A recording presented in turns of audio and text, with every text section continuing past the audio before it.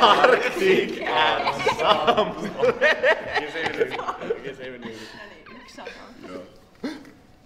Me ollaan Arctic Ensemble. Suomalainen sirkusryhmä.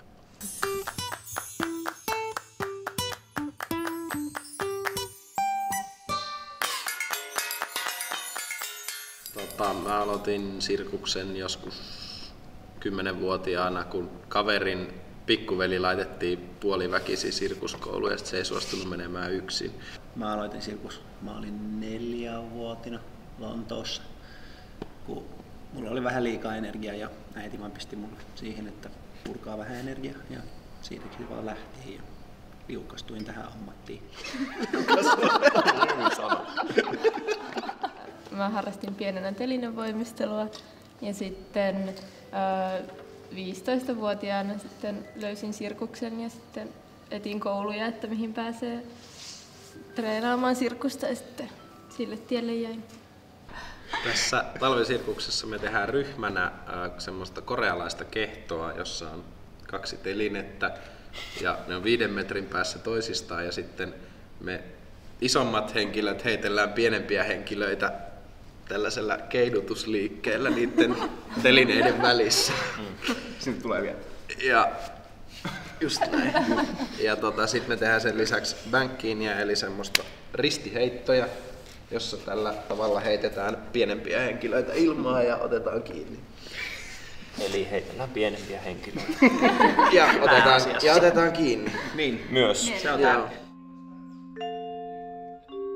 Mun mielestä siinä on tosi paljon hyviä puolia ryhmänä työskentelemisessä, että saa muista energiaa ja pystyy porukalla tekemään asioita ja jakamaan myöskin työtä, että ei jää itselle kaikki vastuu, että voi, voidaan kaikki auttaa toinen toisiamme. Ja se mahdollistaa myös aika paljon niin kuin laajemmin työmahdollisuuksia, kun voidaan tehdä monipuolisesti asioita. Ja Jep, ja ö, kaikilla on omat vahvuudet, mm. niin sitten niin kuin ihmiset on tehnyt muun muassa ennen sirkus alalle ryhtymistä erilaisia asioita, niin niistä on tosi paljon hyötyä. Niin, joo.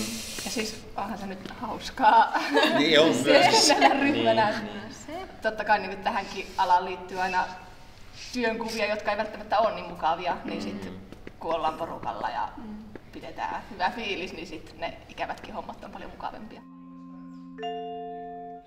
Me tällä hetkellä elätetään itseämme täysin tällä työllä mm-hmm. ja ei tehdä niin kuin muita töitä. Sen lisäksi tietenkin niin kuin tämä työ on vähän laaja käsite, että tähän kuuluu esiintymistä, mutta tähän kuuluu myös tuottamista ja, ja tavallaan tämmöistä niin, autolla ajamista, fyysistä työtä, asioiden rakentamista ja purkamista ja Markkinointia. markkinointia ja tämmöistä niin kuin, että tosi, tosi niin kuin monialasta, monialasta hommaa. Suomessa on aika vähän työpaikkoja, semmoisia valmiita työpaikkoja, mihin voisi vaan mennä töihin. Ja se on aika sellaista yrittäjähenkistä ja sellaista, että paljon freelancereita ja tehdään yksittäisiä keikkoja ja itse pitää olla aktiivinen ja myydä, myydä keikkoja. Ja sitten on muutamia, niin kuin tämä Hurja Root ja, ja sitten esimerkiksi Sirkus Finlandia, joihin voi päästä vähän pidemmäksi aikaa töihin. Mutta sitten maailmalla se on paljon helpompaa, koska sitten kun avaa portit ulos Suomesta, niin niitä työpaikkoja rupeaa tulemaan ihan niin kuin todella paljon enemmän vastaan ja eri maissa on erilaisia sirkuskulttuureja. Meidän tekemisessä uniikkia on tämä meidän laji, eli korealainen kehto. Eli maailmasta ei oikeastaan löydy kahden montaa ryhmää, jotka tekisivät sitä samalla tavalla kuin me tehdään, että meillä on niin kuin kahdella puolella ja kaksi heittäjää.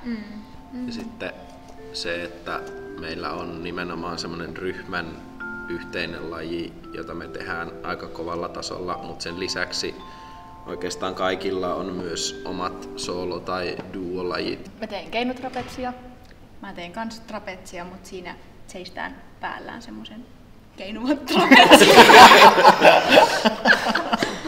Ja sen nimi on Washington jostain Washington syystä. trapetsi. En tiedä mistä nimi tulee. George Washington. Se voi olla. Se voi olla. Mä teen, mä teen syyrrengasta, joka on äh, Daniel Syyrin äh, mukaan nimetty. Ja mä teen rengastrapetsia ja sit sen lisäksi mä teen, tai siis nyt tällä hetkellä mä teen semmoista, että siinä on rengastrapetsi ja sitten sen ympärillä on semmoinen isompi rengas. Mä teen ilmatolppaa. Se on tämmönen metallitolppa, mitä roikkuu ja teen juttuja siitä. Mä en tee mitään. Heittelet. Hei, Heittelen ja otan tärkeä kiinni. Homma. Sä Aa, mä lonssaan pihlaa. pidät turvaköysistä kiinni. Se on tosi tärkeä homma. Turvallisuus ennen Turvallisuus kaikkea. Mä painan nappeja. Nice. Meillä on semmonen vinssi, mikä nostaa ja laskee noita ilma-akrobatiavälineitä, niin sitten mä oon siellä verhoissa ja painan ylös ja alas. Sekin on tosi Se tärkeä on tosi homma. tärkeä homma. On sekin tosi Näkymätön tärkeä. työ. Näkymätön työ.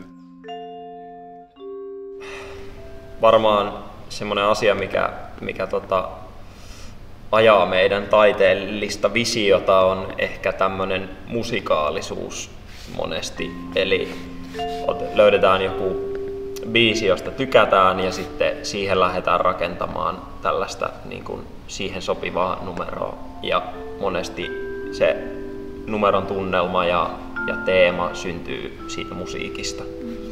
Joo, ja just tuommoisissa ryhmälajeissa se niin kun, numeron sisäinen kommunikaatio on myös tosi tärkeää, niin sitten se tapahtuu myös sen musiikin kautta, koska se on niin semmoinen yhteinen asia, jonka kaikki kuulee, kaikki tietää, kaikki tuntee, ja sit sitä kautta pystytään kommunikoida keskenämme, mutta sitten myös yleisön kanssa.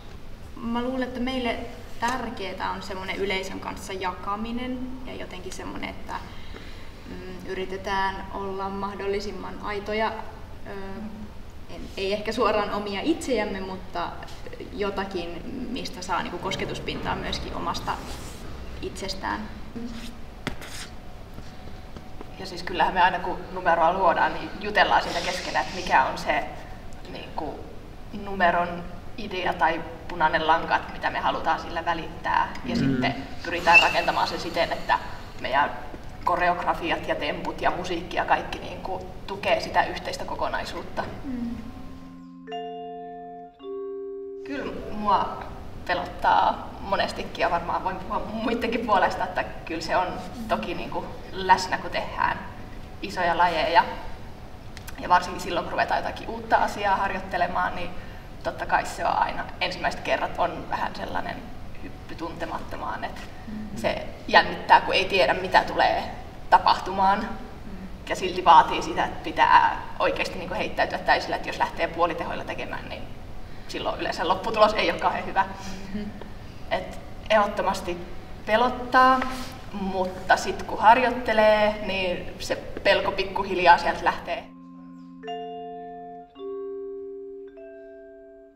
No, talvisirkus ilossa mua henkilökohtaisesti taas voitte kompata, jos haluatte, niin inspiroi se, että pääsee tekemään ensinnäkin live-musiikin kanssa. Se on aina siistiä ja uuden musiikin niin kuin sitä varten sävelletyn musiikin kanssa ja sitten myös uusien ihmisten ö, on paljon erilaisia ihmisiä eri puolilta maailmaa tässä kästissä, niin niiden kanssa työskenteleminen tai uusien ihmisten kanssa, kanssa työskenteleminen on aina mielenkiintoista löytää uusia puolia itsestään ja ryhmästäkin.